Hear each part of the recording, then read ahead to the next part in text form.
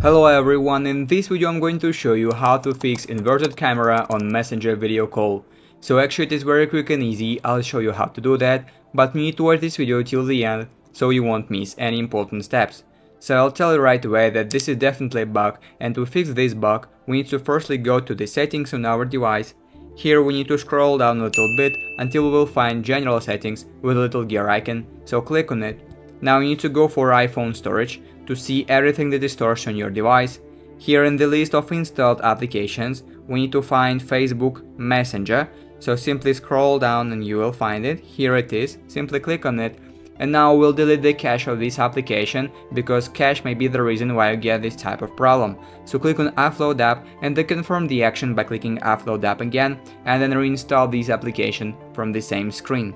But if this didn't work and the problem still persists, the next thing I'll suggest you to do is you need to open the market on your device, in my case it is App Store, and here in search you need to search for Facebook Messenger.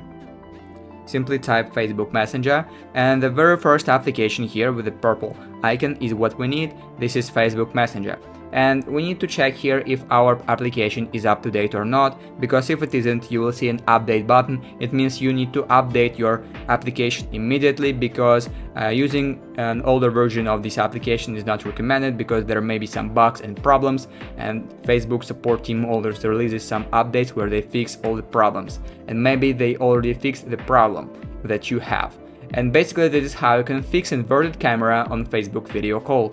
If you found this video useful, leave a like and subscribe to the channel. Thank you.